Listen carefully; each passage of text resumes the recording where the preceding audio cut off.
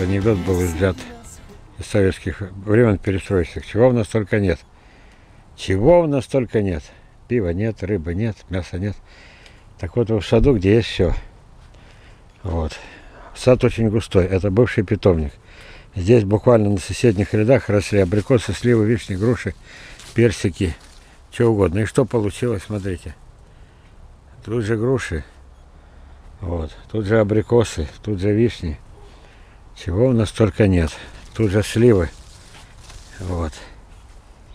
Снова абрикосы. Вот. И вот эта вот густота, она достигла предела. Уже надо от чего-то избавляться. Но а уже начиная с того, что один из моих советов. Питомник это должен стать будущим садом. Вот мой совет, он сильно отличается. Вы такой совет никогда, нигде ни за что не найдете. Так? Почему? Вот. сюда глядите, то же самое. Просто здесь дорожка идет прикупленную землю, куда переехал питомник. Отсюда питомник был выдавлен этими деревьями. Вон они уже какие стали. В пустых местах я еще подсаживал кое-что, но уже растет плохо. Обратите внимание. Почему? Когда я садил несколько лет назад, тут был еще простор, казалось целая поляна. Ну вот все, абрикосы, груши поднялись до такой степени, что смотреть жутко. Это была уже моя ошибка, загущение. Но это так, к слову. Лучше я сам себя поругаю, чем на меня будут пальцем показывать. И говорить, а то его ошибка какая, густо. Почему это густо? Еще раз говорю. Был ряд абрикосов, буквально 8 сантиметров, ряд груш, еще 8 сантиметров, слив. Все в перемешку. Время, места было мало, вы, выбирать не приходилось, так? Вот, теперь, пока еще существует, пока все это плодоносит.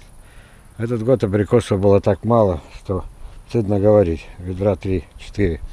А прошлые годы было ведер по 200, потом 250-300 по нарастающей. Ну вот последний год такой. Но дело не в этом. Я хочу, чтобы вы работали по такому принципу, друзья. Садили побольше. Вот. Никаких у меня 5 косточек, мне нужно всего 5 деревьев. Сказки. Садите хорошо. Будет густо взойдет, лучше остаются навсегда. Навсегда. И мы уже об этом говорили, я повторяюсь, почему.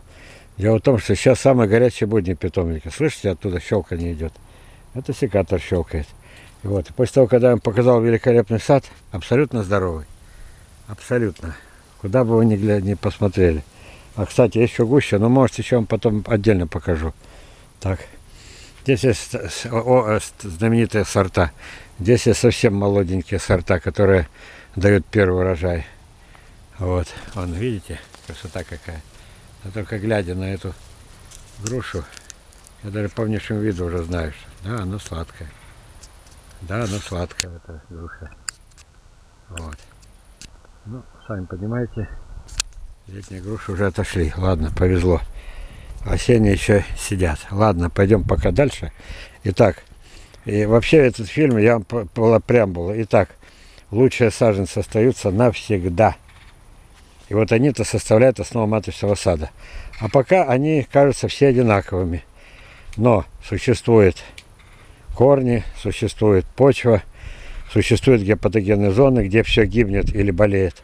Вот, существуют способы прививки разные, с разной эффективностью.